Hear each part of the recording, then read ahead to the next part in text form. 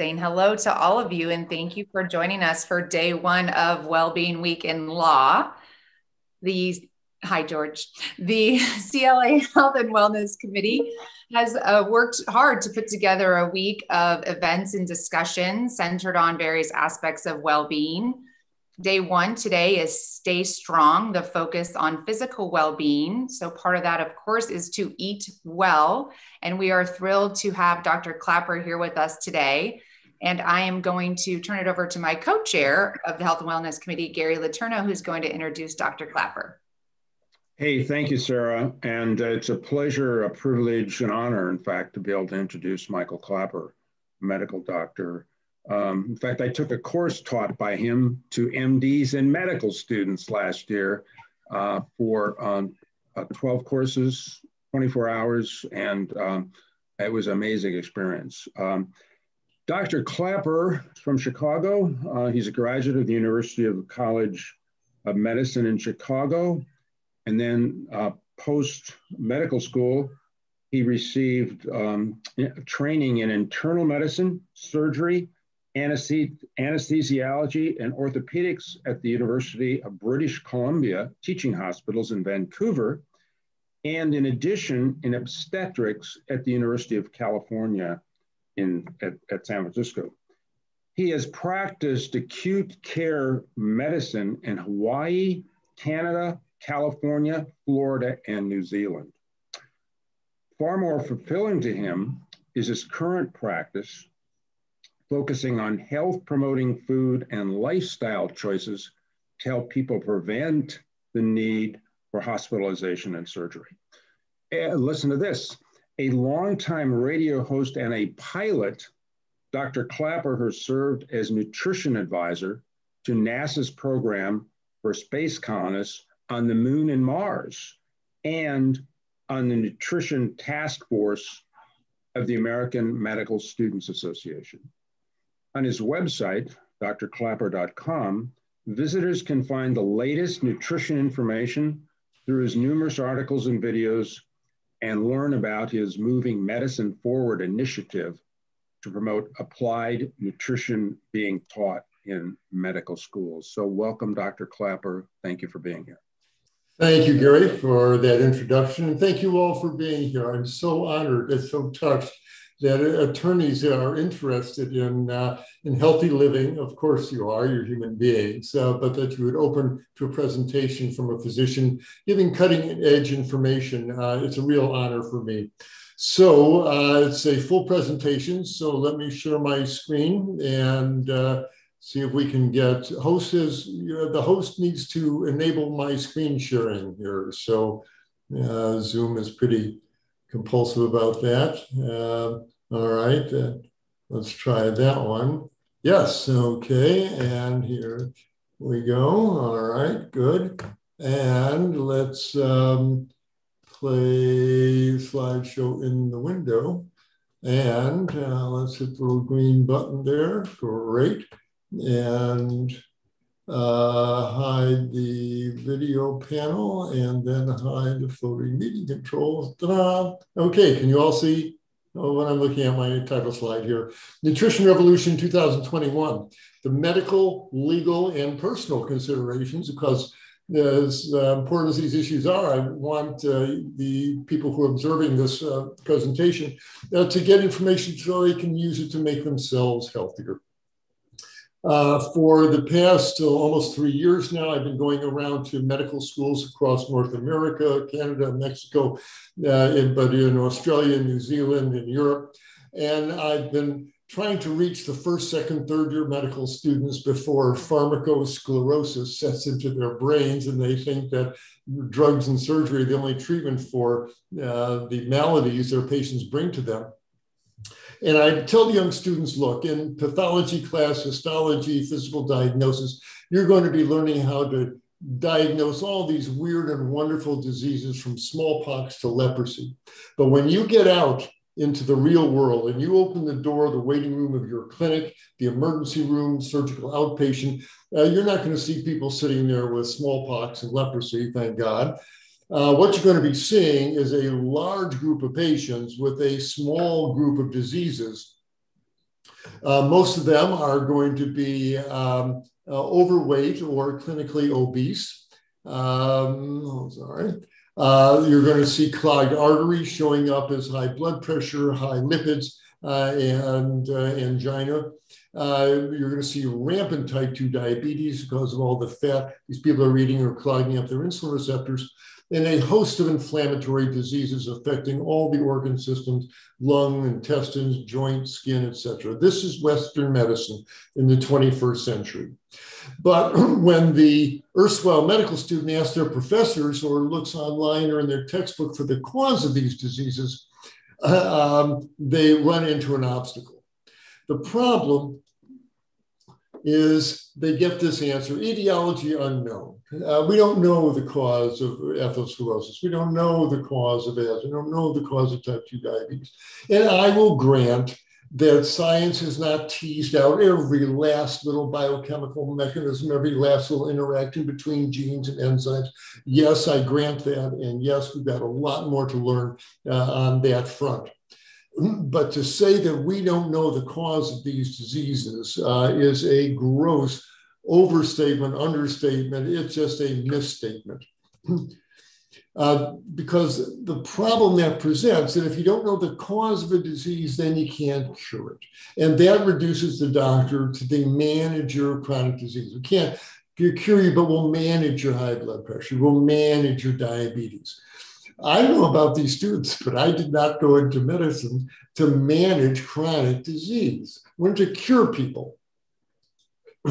but if you don't, if you aren't able to treat them effectively, the message you give them every time you see them in the clinic, you're going to be sick the rest of your life. You will never get better. Once, uh, once on insulin, always on insulin. You got high blood pressure, you'll take these pills the rest of your life. What a dismal, hopeless message to give your patients, and what an unnecessary and hopeless way to practice medicine. No wonder so many of my colleagues are leaving the profession.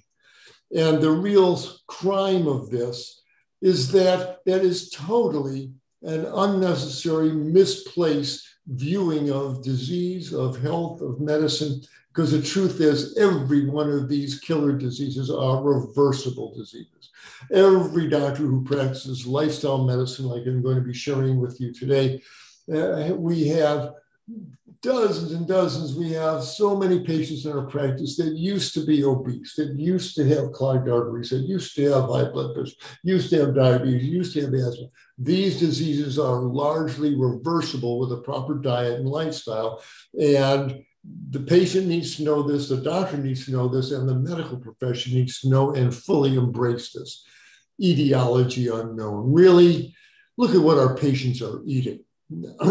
I wish someone in medical school had sat me down and said, let's talk about the effects of what the patient's daily diet, especially the American version of it, the standard American diet full of meat and dairy and oil and sugars, what that really does to the person's body who is running it on that kind of fuel uh, when I stride up to the microphone to give the students this lecture uh, on what I wish I learned in medical school about nutrition, I tell them I'm going to give you the lecture which someone had given me 50 years ago.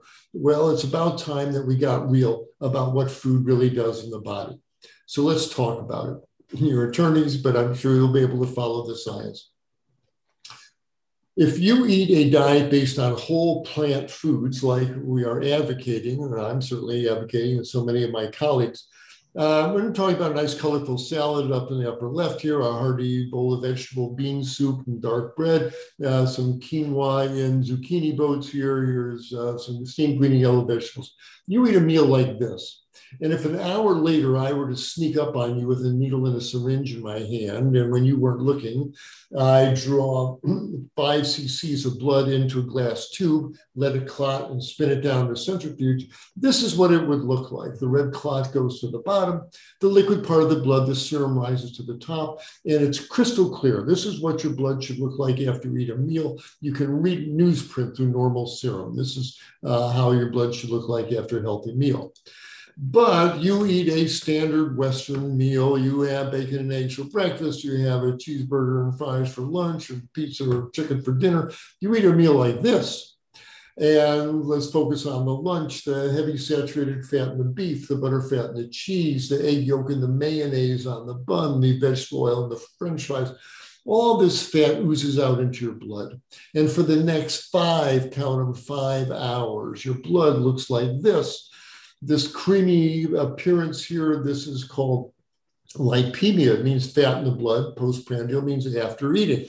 And now I grant that not everybody shows it this optically densely, but everybody has a wave of fat that goes to your bloodstream after you eat a fatty meal. How can you not? Where's it going to go? And your blood stays this way for five, count them, five hours. Here's Kuro's classic study. They gave someone a fatty meal at hour zero. They drew blood once an hour for six hours. They took those blood tubes and put them one after another into an instrument that measures how milky the serum is getting. And you can see the blood getting fattier and fattier and fattier. It takes the liver a good five hours to begin to clear the fat out of the blood and bend this curve down. And during this time, when the blood is running heavily with fat, evil things are happening in the body.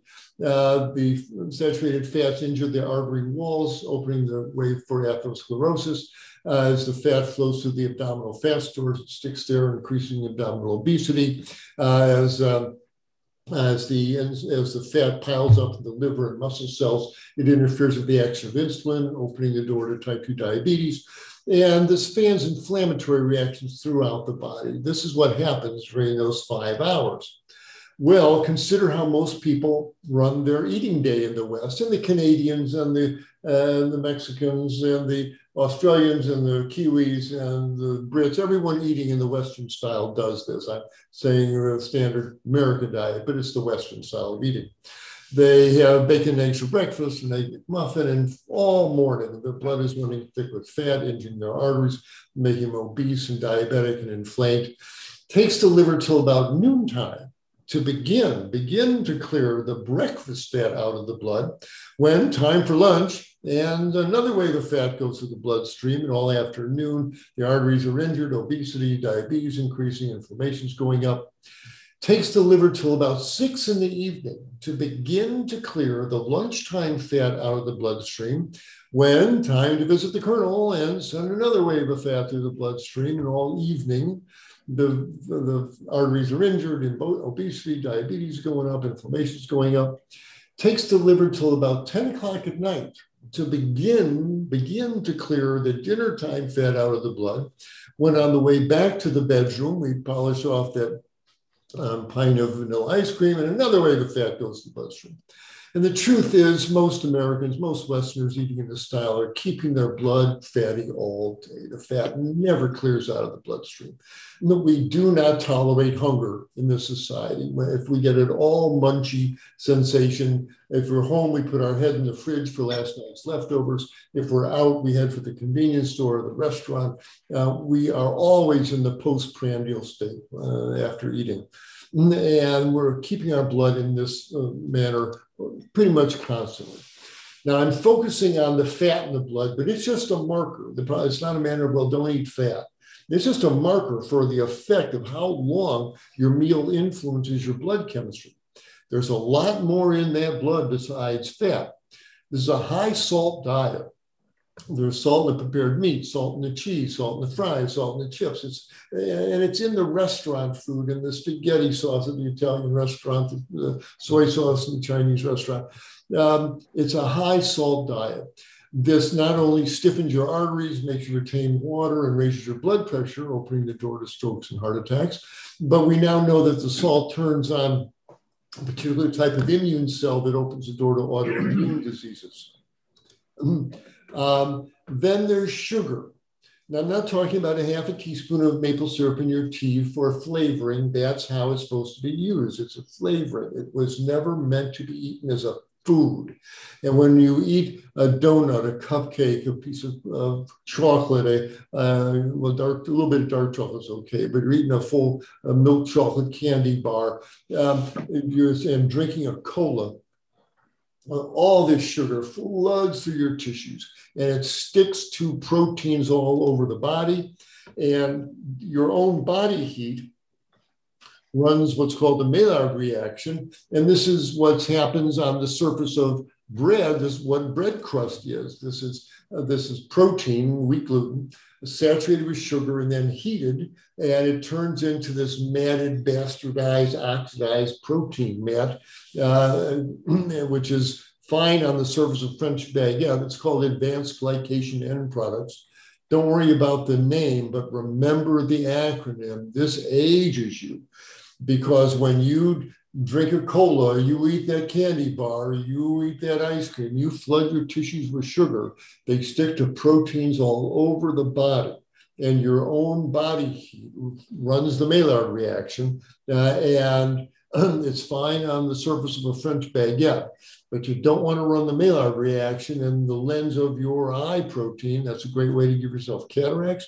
You don't want to run the Maillard reaction in the elastin fibers of your skin. It's a great way to, uh, uh, to turn your skin into an old suitcase. You, and you don't want to run the Maillard reaction on the inner lining of the blood vessels in your brain.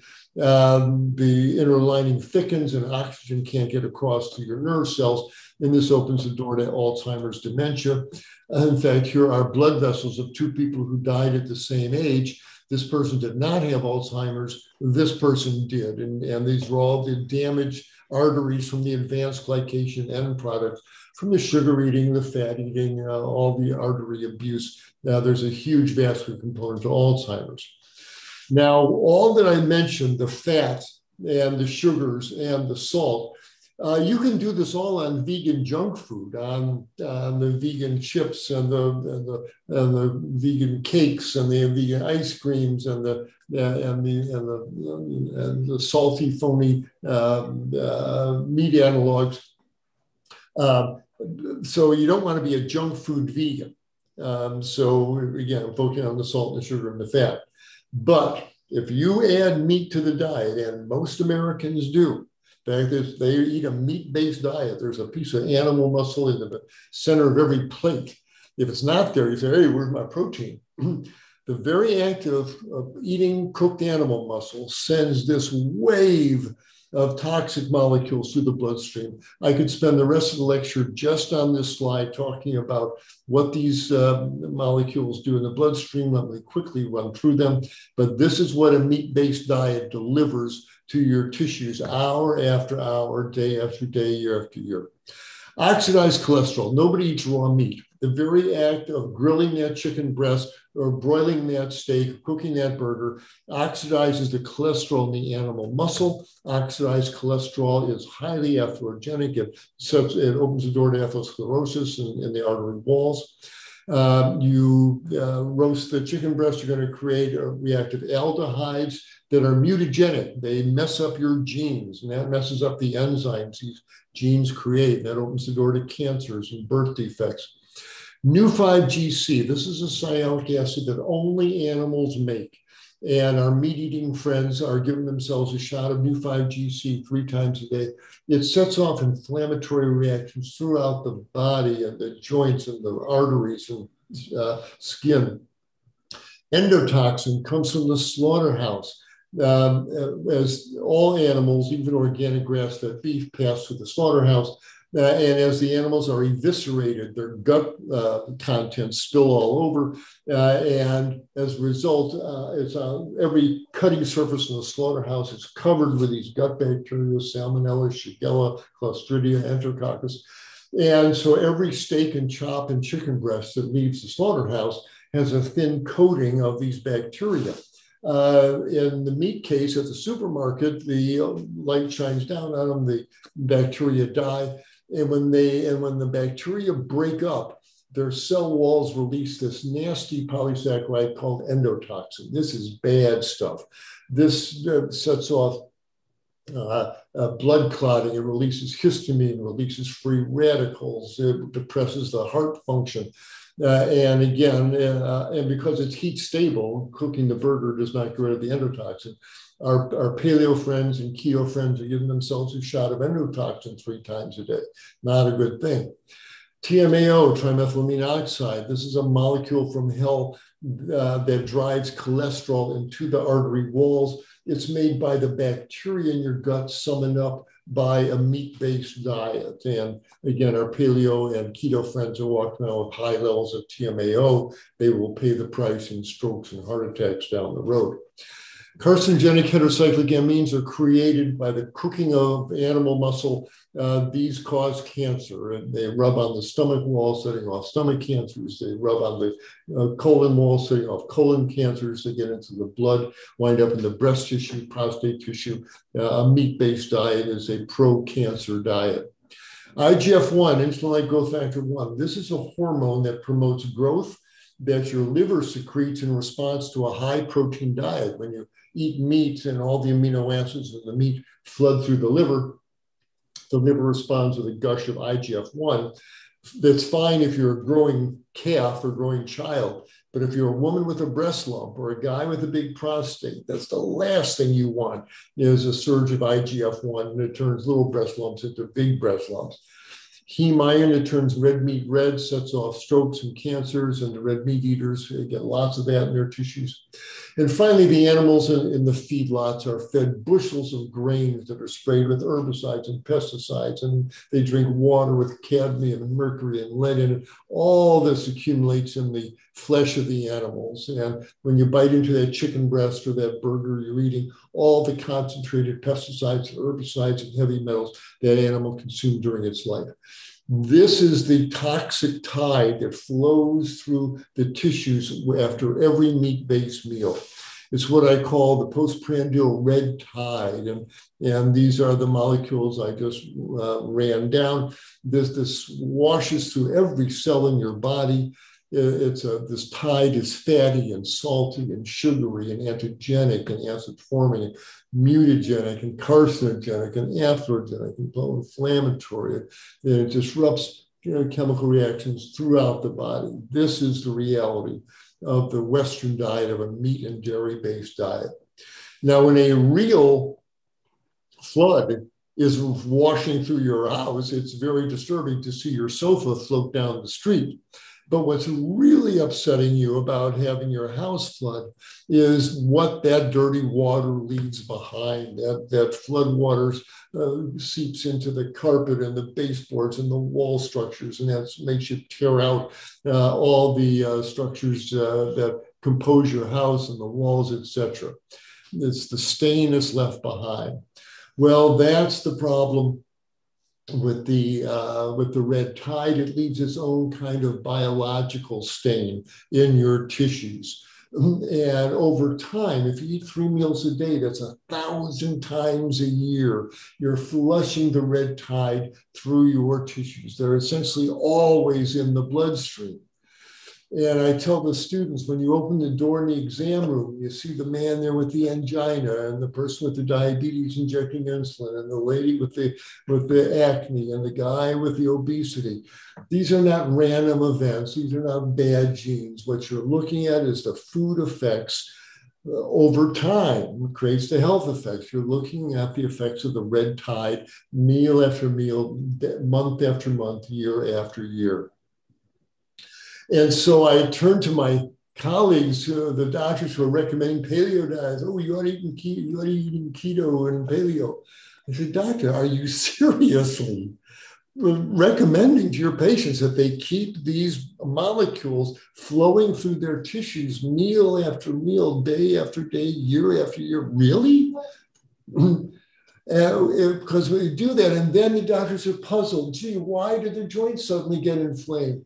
Gee, why did the skin break out? Gee, where did that plaque in the arteries carrying that blood really come from? Gee, and that colon cancer that sprouted out of the gut wall, gee, yeah, yeah, I know the bad, bad luck, I guess. Doctor, for scientists, how can we disregard this potent, potent force that the, that the patient's inflicting upon themselves three times a day? Now, folks recommending paleo and keto diet say, hey, my patients get better. They lose weight and their blood pressure goes down and their diabetes gets better. Paleo is a great diet. And uh, to which I say, do not be seduced by these early beneficial changes. Um, the paleo diet has a lot of features I agree with.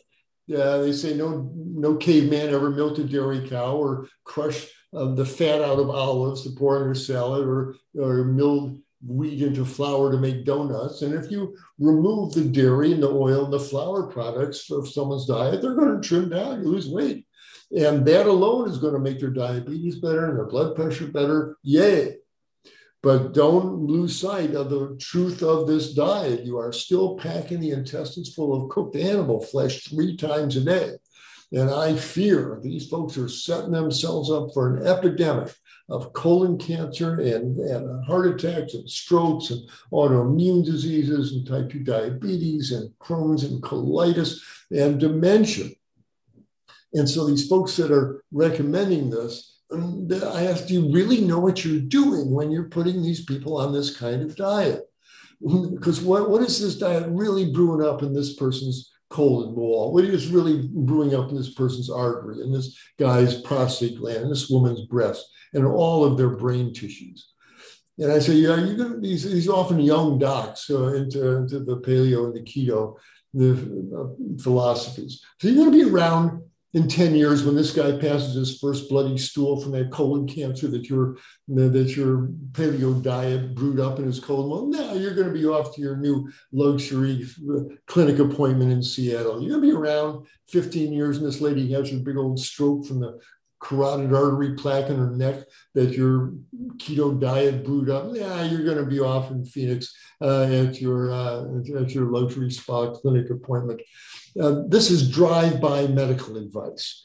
And uh, the adage we practice by do no harm applies to dietary advice as well. You can hurt somebody with, with bad dietary advice. And I think that's what's happening uh, with these uh, current fad diets. Nobody's eaten a paleo diet for 30 years, 40 years. Nobody's eaten a ketogenic diet for decades. People have eaten plant based diets for centuries.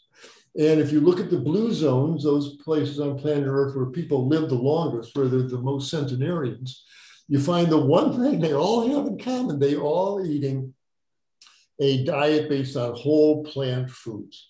Now, let me just say that uh, they're not vegans, and they usually have some little bit of animal flesh um, along with a meal once or twice a week. But it's once or twice a week. It's not two, three times a day. Uh, and the vast majority of what goes down their gullet grew out of the ground in a relatively unprocessed form whole grains, whole legumes, uh, whole fruits and vegetables, along with physical activity and support of family, et cetera, et cetera. so I asked my colleagues now if your patients are already on a plant based diet, and I asked, are they running these toxic molecules through their tissues day after day? The answer is no. My, my, my plant based eaters don't do this to themselves, and that has huge ramifications. But my profession, my colleagues, we practice medicine like what our patients are eating has no effect on these diseases they're bringing to us we, we regard the patient's diet like in the Harry Potter movies, the Voldemort, the archvillain, ooh, the name that must not be spoken. Ooh, don't ask about the patient's diet. Ooh, that's cultural. Now you'll offend them. We're Americans. We can eat whatever we want. Yeah, we can, but your arteries got something to say about that. Your prostate gland's got something to say about that. Your colon's got something to say about that. And that is the problem when we do not take into account the effect of diet upon diseases. And it's a fatal, tragic over, oversight. Why? Because the biological truth is within minutes of eating anything, molecules of that mouthful of food are flowing through every cell in your body where your DNA lies unfolded where all your genes are exposed, the genes that call for the various enzymes in your, in your, your uh, biochemistry. And the food molecules flow over your DNA molecules and they play your DNA like a piano. And they turn genes on, they turn genes off. They induce enzymes, they shut enzymes down. In this information age, we can't be shocked when we realize food brings in not only nutrients, it brings in information. Every meal changes us on a genetic molecular level. And you don't need to be a geneticist to understand that the genes that are be turned on by this broiled steak with all the, the uh, dysfunctional molecules that flow through the tissues because of it, all the oxidized cholesterol, the 5-HTP, endotoxin, all of that stuff. And the genes they turn on that result in aging, inflammation, autoimmune disease, and cancer, these genes turned on by this steak are going to be a totally different set of genes than are going to be turned on by this salad that floods the tissues uh, with antioxidants, with phytonutrients that quench free radicals, that promote tissue repair, that promote stabilization uh, of the cells. It's the difference between one and zero in computer language, uh, an animal based diet versus a plant based diet. Your genes may load the gun, but your diet and your lifestyle pull the trigger. You, you may have a genetic propensity in your family to a specific disease. But whether that disease really manifests in your body, largely, largely, not completely, but largely depends on the food you're flowing through your tissues meal after meal after meal. Here you see it in action. In the left hand panel here, this is genetic readout of a man with prostate cancer. And uh, these red panels here, these red dashes, these are all actively functioning, they're called oncogenes. They are cancer promoting genes and that are promoting the growth of this man's early stage prostate cancer. This man goes on a whole food plant based diet, runs lots of salads and soups and steamed veggies and, and Asian uh, uh, curries through, uh, uh through his prostate gland meal after meal. Six months later, they do another biopsy. Same man, same prostate, same genes. Look at what has happened, what the effect of that food has been. Look how many of these red panels are now turned green. They are now turned off as far as cancer promotion goes. This is the power of food. And yet we totally blow past this, we just ignore it.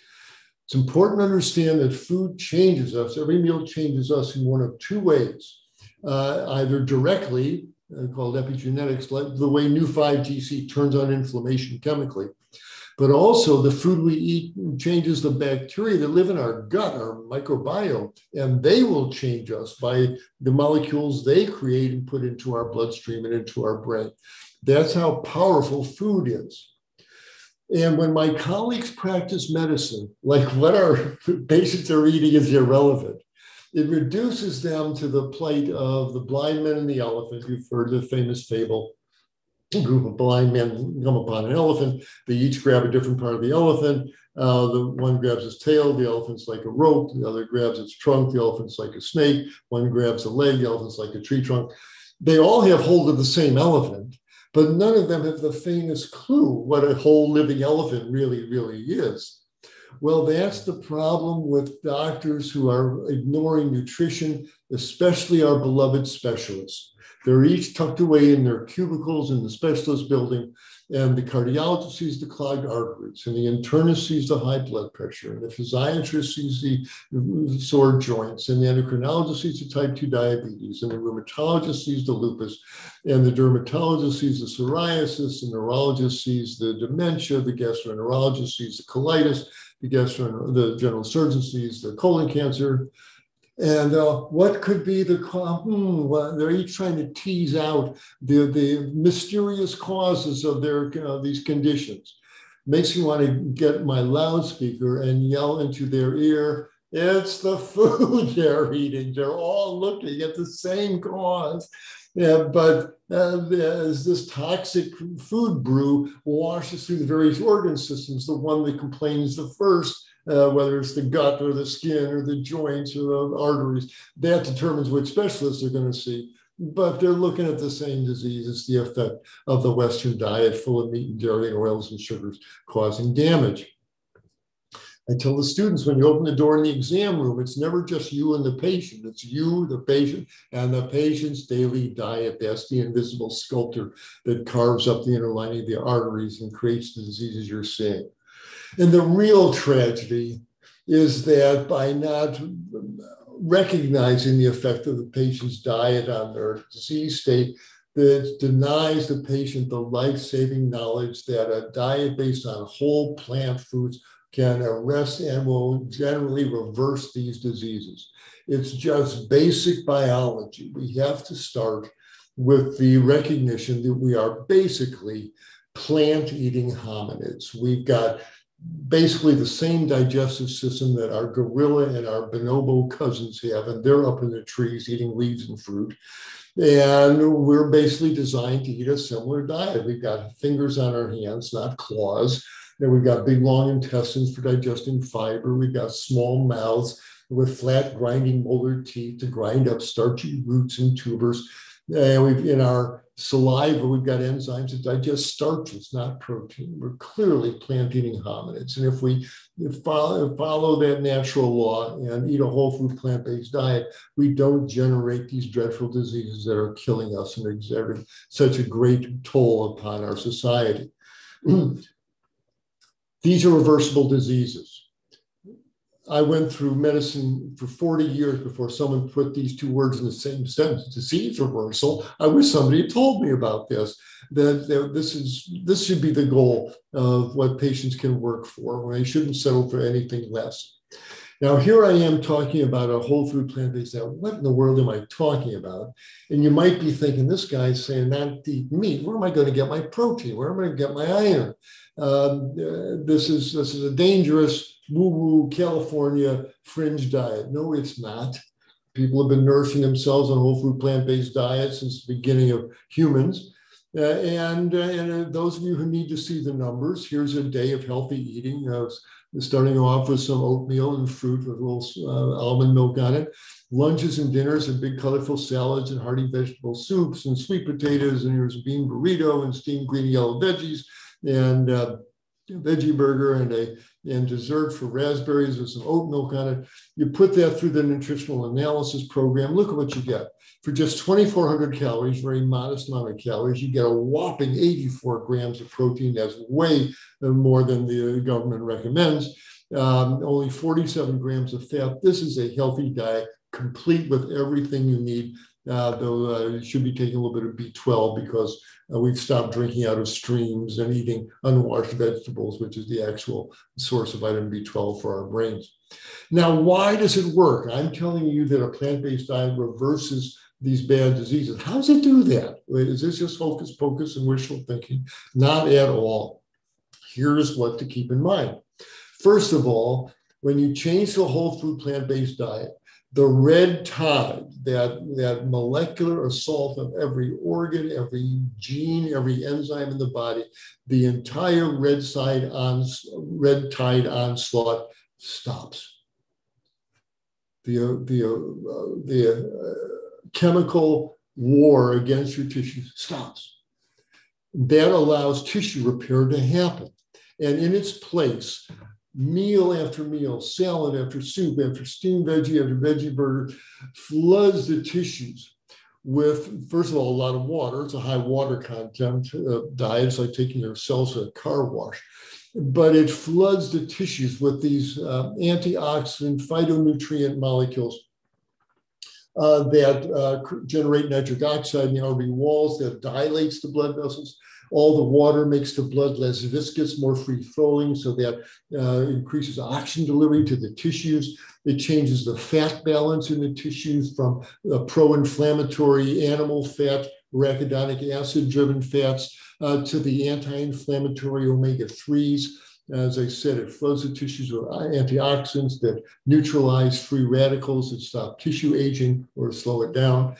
Um, it changes the microbes in the gut to beneficial Prevotella and suppresses the pathogenic uh, bacteria that cause inflammation.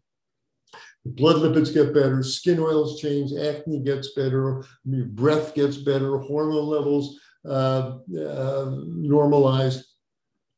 High protein diets are toxic to the kidneys. Kidney function gets better on this more moderate protein diet. Uh, lungs breathe easier. It changes everything. I could spend the rest of this lecture and two more talking about the chemistry of how this diet affects and benefits every organ system in the body. Don't have time to do it, but it changes everything. We can't, uh, I can't uh, underestimate that. or overestimated. And as and after 35 years of using whole food plant-based nutrition as the uh, as the center of my uh, nutritional uh, therapy programs, the changes I see are spectacular and predictable. It's just stunning. Within days of adopting a whole food plant-based diet, the obesity begins to melt away. The arteries relax and open up. High blood pressures come down. The insulin receptors open up. Diabetes gets better, goes away. The inflamed joints stop hurting. The asthmatic lungs stop wheezing so much. The migraine headaches get better. And they turn into normal, healthy people right before your eyes. All of us who practice lifestyle medicine have patients like Emily, used to look like this, and had diabetes and high blood pressure. 11 months on a whole food plant based diet. This Emily turns into this Emily. normal weight, offer blood pressure medicines, offer diabetes uh, med- medication, offer insulin. I tell the med students, what more could you want for your patients? That to help them regain their health on the deepest, truest level. And again, all of us who use plant based nutrition for our uh, nutritional touchstone uh, have dozens and dozens and dozens of patients like Emily. So let me talk a little bit more science. I know a lot of people have type 2 diabetes out there. Here's the mechanism. People think, oh, diabetes and eating too much sugar. No, it's not. It's a disease of too much fat.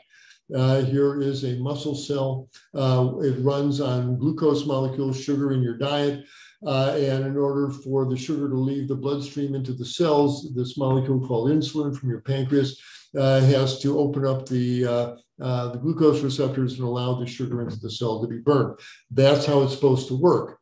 But if you keep your blood fatty all day and the fat builds up in the tissue called intramyocellular lipid, it builds up in the muscle. It clogs up the insulin receptors. It inhibits the enzymes. So insulin knocks on the door, but nobody answers, and the, and the sugar builds up in the bloodstream. This is not theoretical. This is what it looks like. This is intramyocellular lipid in the muscle cells. Here it is under the electron microscope. This is fat in the cells that are clogging up the insulin receptors. Shouldn't be there. Uh, there's lots of uh, studies uh, validating this is the main mechanism of insulin resistance. now, uh, this is the most common ways that people open the door to type 2 diabetes, but obesity makes it worse. Why? People say, oh, it's okay, you can be fat and be healthy. No, you can't, because obesity is a state of inflammation. The abdominal fat wrapped around the intestine puts out these molecules called inflammatory cytokines, and they interfere with the insulin receptors on the outside, while the fat clogs up the insulin receptors on the inside. No wonder so many obese people develop type 2 diabetes. Well, guess what? You get them on a whole food plant based diet, lots of salads and soups and steamed veggies. And this fat is burned for energy. The, uh, the inflammatory cytokines go away, and the insulin starts working again and it's a reversible disease. Which told me about that. And there are studies showing uh, that they compare a whole food plant based diet with the American Diabetes Association diet. And the whole food plant based diet results in more weight loss and better control of blood sugar, better control of, of lipids. Uh, and all of us uh, practice lifestyle medicine. Have patients like Jim, used to be 100 pounds overweight, grossly diabetic on insulin went whole food plant based, uh, lost all this weight. Now he's running marathons and off all his insulin. Um, diabetes um, in dermatology. Um, it turns out that dairy products, the, they have proteins, lactalbumin, uh, that turn on genes uh, that make the skin oils very acidic, and that opens the door to acne. But you yank out the dairy and the oils and the sugars, uh, and the animal proteins and skin like this can turn into skin like that. Psoriasis often gets much better. I used to run the other way when people they came in with psoriasis. Now I've got something to offer them. It's not hundred percent, you know, that that's the magical cure, but it usually gets much, much better. All these conditions. I'm not saying all you have to do is adopt a plant-based diet, but it's square one. It's the place you start if you're serious about reversing these diseases then, then a whole food plant-based diet is, is the baseline uh, that, that allows all the other treatments to work much, much better. And the most important, The improvement is shown in cardiology. It's the state of our arteries. The number one cause of uh, death in, in, Western societies every 30 seconds. Someone grabs their chest and falls over the heart attack and dies because the inside of their arteries are filled with these inflammatory plaques of, of oxidized cholesterol uh, called atherosclerosis. The cardiologists say, well, just, just bad genes, their LDL is too high, they all need statins, they all need stents, they all need um, uh, um, bypass procedures that's right, doctor. Don't talk to them about what they're dying, what they're eating. Let them keep eating the standard Western diet. That's exactly what you're going to see. It becomes a self-fulfilling prophecy, but it's totally unnecessary. A whole food plant-based diet, especially the antioxidants and the phytonutrients and the dark leafy greens, penetrate into these plaques neutralize the free radicals, the plaques get smaller, the, uh, the atherosclerosis washes away in the blood flow stream. And, and arteries like this, this is the left anterior descent, is an artery in the heart uh, with an angiogram filled with dye here. Uh, the entire artery should look about this wide uh, but this rat-eaten part down here, these are atherosclerotic plaques encroaching into the blood flow channel. This man had such severe angina, he already had a heart attack and, and had to take in nitroglycerin after walk just a few steps. Man went on a whole food plant-based diet, meal after meal, salad after salad, uh, veggies, uh, burger after veggie burger, whatever. That's symbolic for, for, for a whole food plant-based diet. 22 months of those meals the plaques melt away and this artery turns into this artery. Same patient, same artery. This is the power of a plant-based diet. and arteries all over the body open up, much to the delight of people at home. Uh, this is in the medical literature. Dr. Caldwell Esselstyn, who did this study, uh, published it. Here's uh, Family Practice Journal 2014, seven years ago. But he published this in the 1990s and started uh, to get these kind of results. And if you have clogged arteries or know or love anybody who does, or any of your clients, please have them get Dr. Esselstyn's book, Prevent Reverse Heart Disease. Follow his program to the, to the letter, and uh, you can get these uh, beneficial changes as well. Uh, and again, the very same uh, beneficial diet and lifestyle changes that prevent heart attacks and strokes also will help prevent Alzheimer's disease as well. But yet we just blow right past this in medical school. Doctors are not taught about nutrition. They don't respect nutrition as, as a science. It's not on the national board exams. And they're eating the same food themselves in the hospital cafeteria and the restaurant. Ah, nutrition, ah, send dietitian. I'm up in the OR doing real medicine. But what are they doing up in the OR at three in the morning? They're dealing with the infections and the infarctions and the amputations from what their patients are eating. They're all dealing with nutritional based diseases. And yet, the usual approach to our patient's diet, this powerful, powerful factor, the number one reason that the patient is sitting in front of you, doctor, overweight, diabetic, hypertensive, clogged up, inflamed, is what they're eating. And yet, we, we totally ignore it. The and it's and it's a oversight of the highest egregious order. The, the journals are full of these uh, of articles of studies clearly showing that a plant-based diet benefits high blood pressure, inflammatory bowel disease, uh, that melts away artery disease, type 2 diabetes, osteoarthritis, rheumatoid arthritis. They can't say that we don't know anything about this. There's so many studies already in the journals.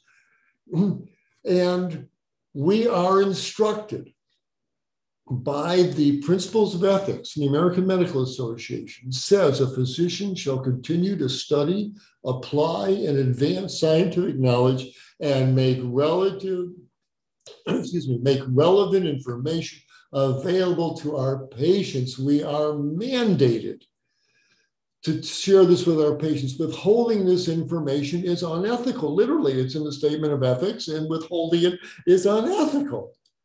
Yet, never a word do we mention this. Patient, uh, oh, you got clogged arteries, or you need a stent tomorrow. Your clogged arteries, oh, you need a bypass tomorrow. Sign here. And I think it's just a matter of time, fellow attorneys, not fellow, I'm not an attorney, but but hear me, legal the servants that you are. I think it's just a matter of time before an angry widow walks into the office of a cardiologist or a cardiothoracic surgeon and says, My husband died on that operating table last month during a four vessel coronary artery bypass procedure, and nobody told us he could have melted those plaques away from the inside of his arteries with a whole food plant based diet. Why was this information withheld from us? Why didn't somebody say something about this? How long have you people known about this? How long has it been in the medical literature? 25 years. Are there, I think there's legal implications to this. If this woman engages an attorney and lodges a wrongful death suit, I think she's got a good case. This is a wrongful death. This is would have been totally preventable if you could melt that plaque away from the inside of the whole food plant-based diet. Why was this information withheld from her? And so we have to really question the whole issue of informed consent was she was not informed of this information that is freely available. It's fully in the medical literature. So we have to have a, through the legal eye, have a look at informed consent. What is she saying? Why was that not on the informed consent? You and and I've been told that as I'm signing permission for this procedure, that this uh, this uh, condition could be reversed as plaque melted away with a whole food plant base. I've been told that and choose not to not to take that mode of action. Fair enough, but some but she they're at least entitled to that information. The doctor said, "Well, it's not standard of care." We, uh, we don't talk to about the patient what they're eating. That's not standard. We got to have a look at that entire idea. How bankrupt is that? We at least owe the patients uh, the information. And I've given uh, Gary and Lauren uh, the, the handout. I give my patients a four page handout here watch these videos, visit these websites, read this article, and, and you'll know what to eat. It's your choice whether you want to follow it or not, but you at least need to know that this effective therapy exists. And yet, my colleagues, the surgeons, the endocrinologists, the inter- oh, they don't want to hear about this. Um, why? And let's be real. This is a get real type of lecture. First of all, a nutritional approach. It doesn't replace this. Some people are going to need surgery. Some people are going to need stent. There are life-saving moments when these procedures are necessary. But but there are hundreds of thousands of stents and bypasses done every year, uh, without talking to the patients about what they're eating and the ability of, of a healthy diet to reverse it, I think is unforgivable. So why are they so resistant? Well, it threatens or it breaks or at least it supersedes the current medical model. So they can't claim etiology unknown. We have, and and gee, the, the smart uh, researchers are looking for that magic molecule, and they'll make a mesocillin, and we'll give it to our patients and and uh, reverse these diseases. But till that happens, uh, there's nothing we can do. We've got to do these invasive procedures nonsense. So they, they, they don't want to give up their, their pills and procedures in the vain hope and more funding uh, to search for mesocillin. Second, it threatens and it actually breaks and supersedes the current treatment model. It means you got to pull the plant based dietitian onto the treatment team and let her or him counsel the patient first for a few weeks before you, um, you, you put them on the insulin and the metformin and, uh, and place the stent. And finally, it threatens or it breaks or it supersedes the current financial molecules. And that's a huge, huge driver to their resistance because now we just pay for doing things to people who already have the disease. And, but if you can reverse the disease just by their diet, ooh, a whole lot of the cash cows are going to wander out to pasture there. well, what do I say about that? A Latin phrase you probably ran into in law school. Fiat justitia ruat caelum. Let justice be done though the heavens fall. There's plenty of money in the system. We just got to change the way it's flowing. The bean counters have to change the way the beans are flowing. That's all that's really required here. Well, who's that? How can we do that? Well, here's one. Uh, Ken Beck, plant-based insurance actuary. Uh, and uh, he and his colleagues have devised actuarial patient value model reimbursement. There's value to society for every CEO that doesn't go down with a heart attack. Uh, he, the company keeps running, the employees keep paying taxes, the, the good work is being done. There's value to that. And Mr. Beckman told me at a meeting, look, Doc, for every coronary artery bypass we don't pay for, we're sitting on a quarter million dollars. We'll be glad uh, to give the, the doctor 20,000 for keeping his patient healthy. We'll give the patient 20,000 for staying healthy. And we're still sitting on $190,000. Um, there's we've got to change the way the money flows to reward people for staying healthy and excuse me for doctors and healthcare professionals to uh, uh, to promote that. It can be done. We just got to uh, look at medicine uh, in a more, more positive light. I tell the docs before you order another thousand dollar scan, another five hundred dollars set of blood tests, stop. Ask your patient what they eat every day, and that's probably if they're full of burgers and buffalo wings. That's why they're sitting in front of you, doctor, all hypertensive, diabetic, clogged up, and inflamed. Send the patient to the dietitian, let her do her magic, and see them back. Because well, people don't change what they eat. They do change. Not everybody, heavens knows. You got to be ready. But more and more people are getting ready. They're sick and tired of being sick and tired. My patient Ken came in looking like this on blood pressure and insulin medicines. 12 weeks on whole food plant-based diet, dropped 25 pounds off his meds, off his uh, off his insulin. Uh, for what price? You ordered the bean chili instead of the beef chili. You know, that's the huge sacrifice, but it makes all the difference in the world. It's time to leave caveman thinking behind. It's already happening in academics. Here's UC Davis and their uh, plant based uh, course. Uh, here's Kaiser in California and other places um, telling their doctors about plant based diets. They know they're going to save so much money if their patients go plant based now, how about you? If you have clogged arteries, if you're on insulin or metformin, if you're overweight, how do you get started? It's not too late. It's not too difficult. It's delicious food. Uh, uh, Asian stir fries and Indian curries and Mexican chilies and hearty vegetable stews and soups. Um, go to, uh, you need to see this film called Forks Over Knives go to forksoverknives.com. Uh, the fork is your dinner fork. The knife is a scalpel opening up your chest. Believe me, take the fork over the knife. Um, and after you see the film and you see all these people getting healthier with healthy eating, uh, then go back to their website and they've got recipes and transition plans. It's not hard.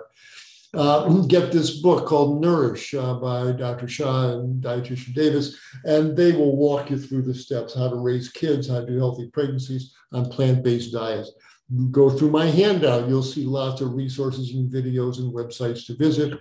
Uh, go to PCRM, Physicians Committee for Responsible Medicine, uh, and they'll send you in your inbox here the, how to do their 21 day kickstart. And you don't have to be completely vegan, but get the meat eating down to a couple times a week, not a couple times a day. And I mentioned plant based dietitians, they're everywhere. Here they are. Uh, Connecticut and Houston, Texas, Ann Arbor, Michigan, Broward. These were all med schools that I'd lectured at. I'd find out who's in their local area.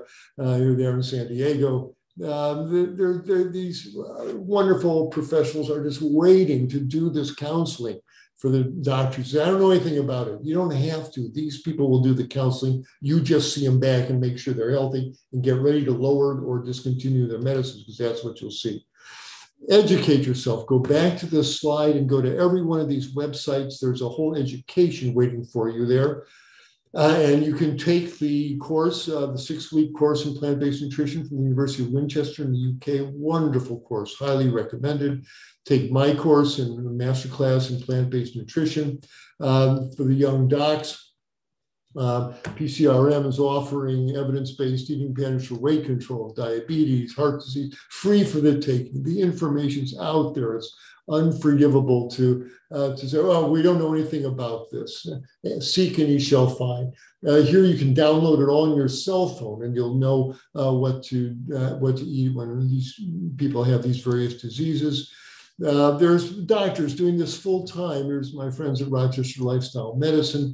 Uh, here's the Plantrician Project folks in their conference. Thousands of doctors from around the world are practicing this kind of medicine. Uh, you can't say this is new woo-woo fringe stuff. The American College of Lifestyle Medicine has thousands of members promoting this kind of diet and lifestyle. They say, look, once you look behind the curtain, you can't pretend you don't know what's behind the curtain. So we're getting to the end of this. And, I, and it's here I ask the med students a provocative question. Knowing that most of these killer diseases that are going to take up the majority of your professional careers are reversible with a whole food plant based diet and a healthy lifestyle, got to ask you, you want to heal these people or don't you? Really? Why are you going into medicine? So I'll ask my legal colleagues here could the legal profession step up and help my profession grow into this, into to reap the benefit of this powerful, powerful knowledge? Could a timely letter from an attorney's office to that cardiovascular surgeon doctor, you you should know that the patient who had unsatisfactory outcome consulted us about, about lodging legal action against you, decided not to do it, but uh, we urge you uh, in your future counseling to include in your informed consent uh, the, uh, the possibility of reversing this disease through plant-based diet and resources to refer this patient to for them to check it out and make an informed decision. Boy, I'll tell you, if I got that letter from an attorney, it would certainly start changing uh, the advice I give my patients. And it might be the magic fairy dust that gets, that gets these wheels turning. Sorry for the mixed metaphor here, but it might be what, believe me, we doctors listen to legal threats. And it might really help us open our minds and hearts to this very important, essential knowledge. So, whole food, plant based nutrition. This truly is an idea whose time has come, and it's going to bring benefits to all of us, to our communities, certainly to my profession. It'll benefit your, your profession to know about this, and it'll benefit you um, to so stay out of the clutches of people like me. Uh, so um, you can find more information on my website. Again, get uh, this wonderful book and learn about it. So this is the nutrition revolution in 2021, the medical aspects, the legal aspects, and the personal ones. Uh, I know it came at you pretty thick and fast, but hopefully uh, you got the general idea. So with that, I'm going to stop sharing here. I have time to uh, to answer questions. And if you have any, if anybody's still there, I see we lost a few folks. But uh, if anyone would like yep. to ask questions, I'll be glad to answer them. Thanks Dr. Klaper, there were a couple in the chat, but if anybody here live would like to, um, you know, chat, raise your hand and I will uh, call on you to ask Dr. Klaper a question. But one of the questions, Dr. Klaper, was what are your views on consuming seafood?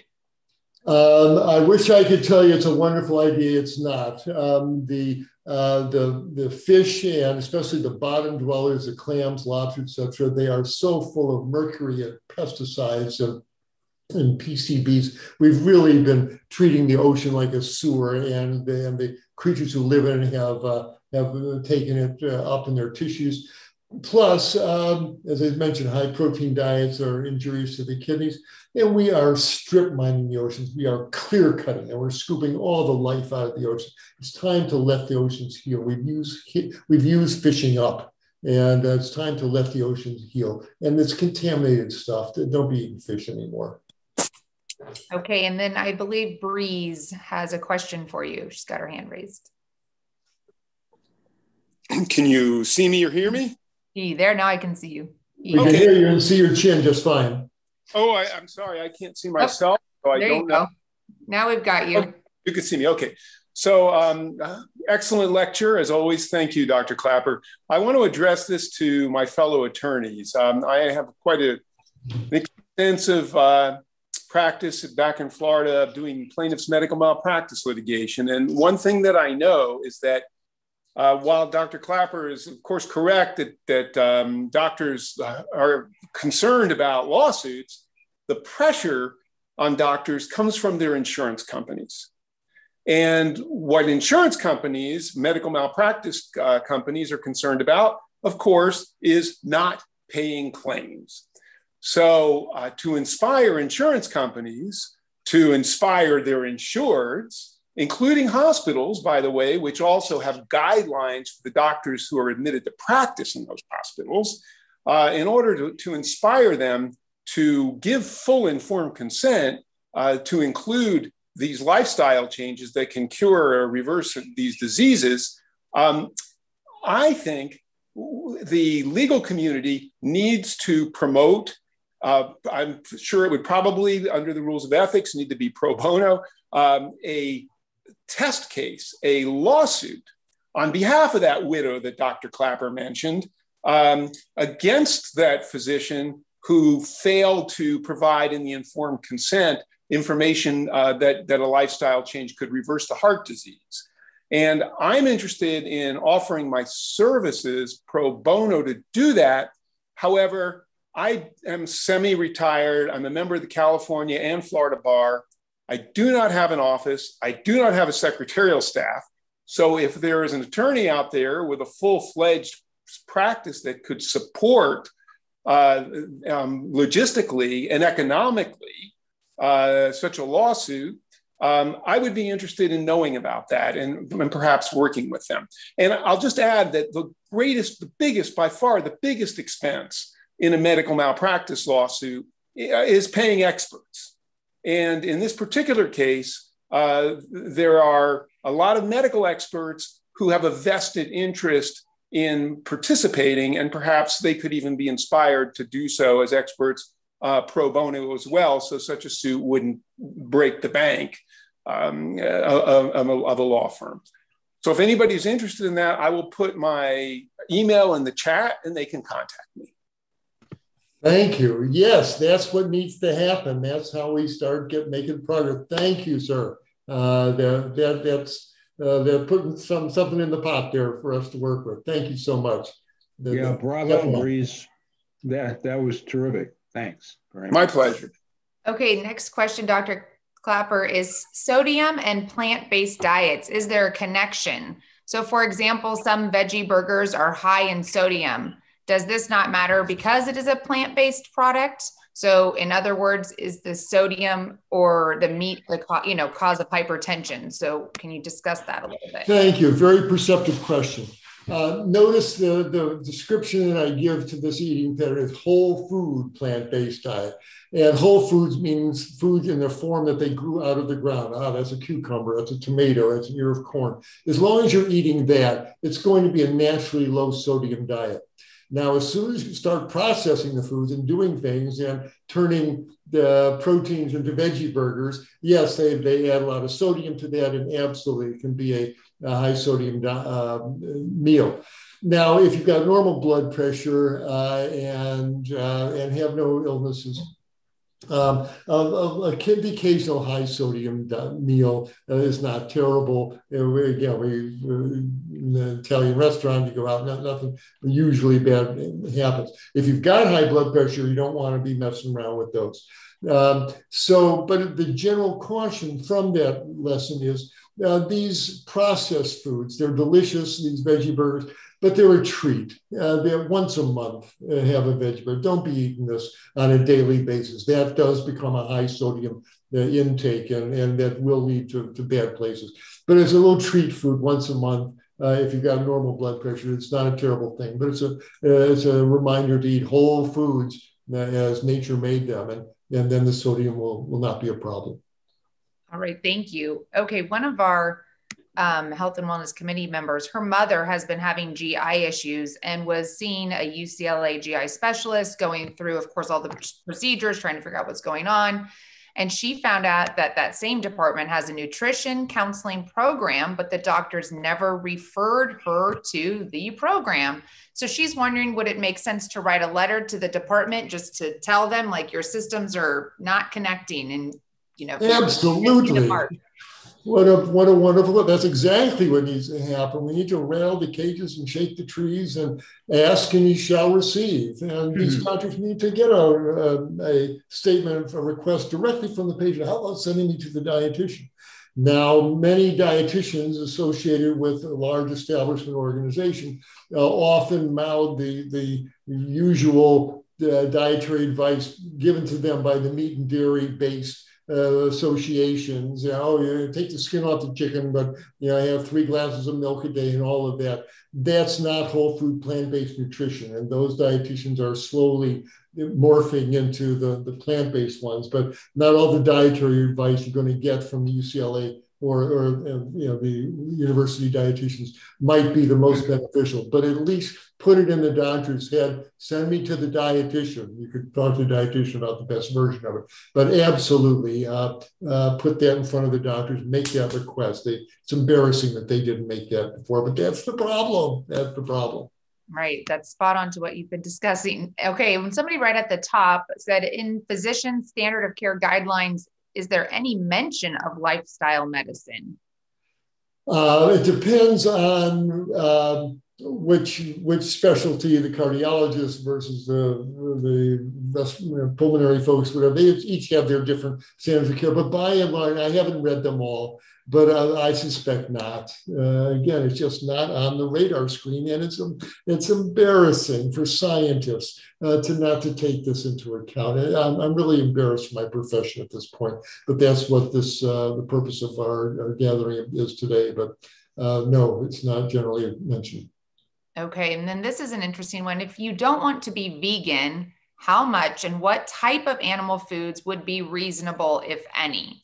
So if you don't think maybe you can be 100%, what would be your recommendation on how to approach that? Yeah, absolutely. Um, now, it's not a great sacrifice to order the pasta primavera with vegetables instead of the pasta with the meatballs. Uh, you know, start with the food you already like, and, and you can veganize them.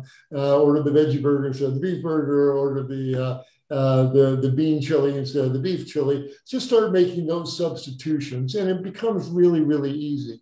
And if you are going to be eating, you know, specifically want some flesh on your plate there, eh, make it the smallest amount. Don't order a 16 ounce porterhouse uh, steak there. Yeah, you want yeah, a little bit of shredded meat of some sort on the side of your of your veggie stir fry there, or mixed in with a with your salad or whatever. But we're talking about three ounces. That's the size of a deck of playing cards, once or twice a week.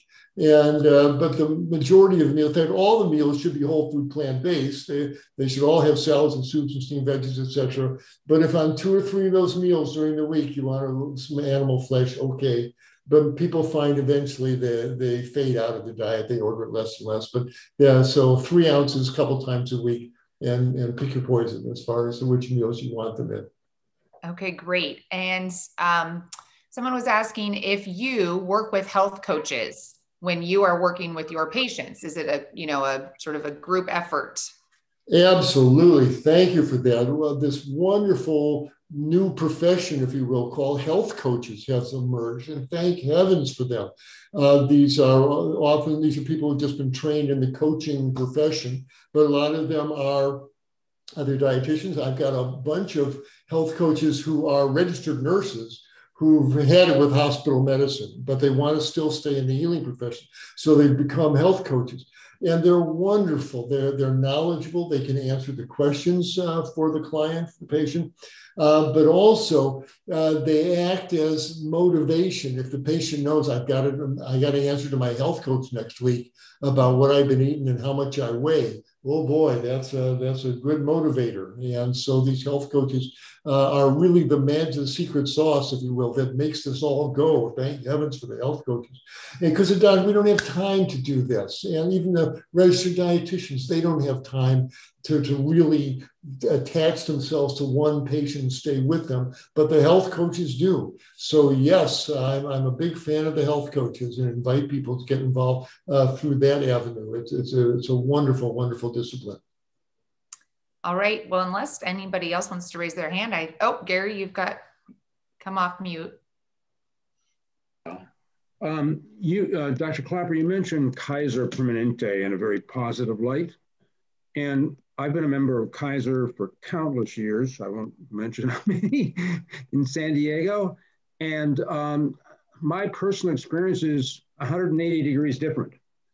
Um, they have a, a, positive reputation, I think, because of a pamphlet published by one physician who's from the Philippines. And, and most doctors have no knowledge at all.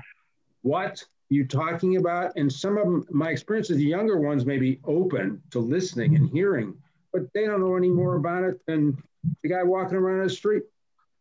And they yes. love to give pills, yeah, my, surgeries. That's what they live on. period.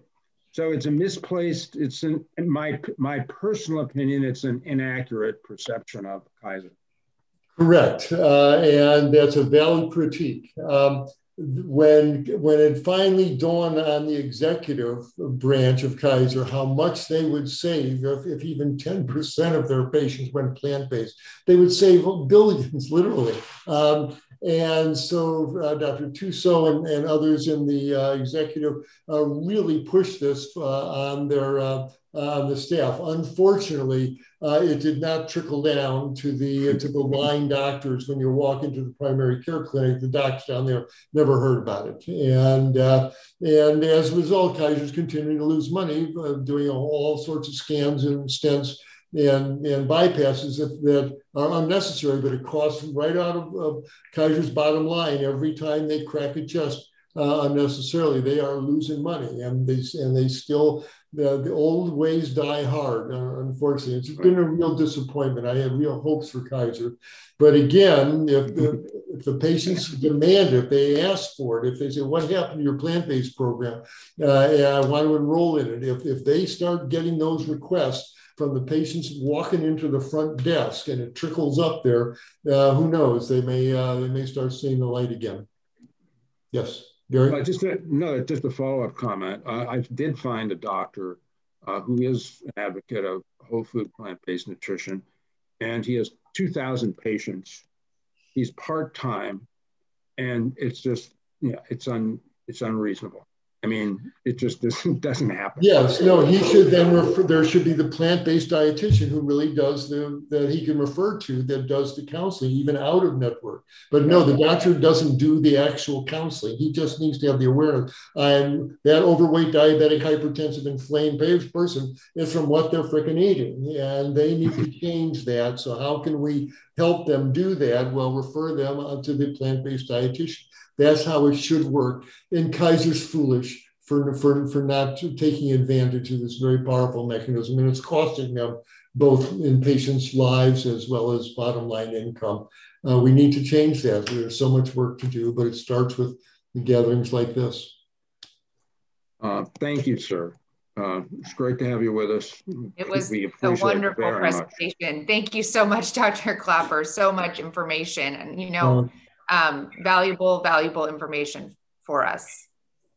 Uh, I'm so thank you for being open to this. It's so hopeful to have attorneys interested in this, and and who knows what sparks got ignited here. And when, uh, like uh, Breeze uh, mentioned, maybe someone will help him actually lodge this suit. It might just take one or two suits uh, or legal actions and hit the headlines and rattle through the medical journals. That suddenly, you know, Kaiser wakes up and uh, that might be what it takes. And so, in a way, ball's kind of in your court. Of course, it's, it's our my profession's issues, but boy, you you could guys could really come to the rescue on your white horses uh, with some appropriate legal maneuverings here. So I hope uh, you take us up on that invitation. They really need you. So thank you very much. Again, save your own lives. Again, save my profession. Uh, start eating plant-based at least 90% of the time, and you'll stay out of the clutches of people like me and live long, healthy, happy lives. That's what I wish for you all. So thank you for the invitation. I wish you all the best. Thank you. Thank you, everyone, for joining. See you all later in the week.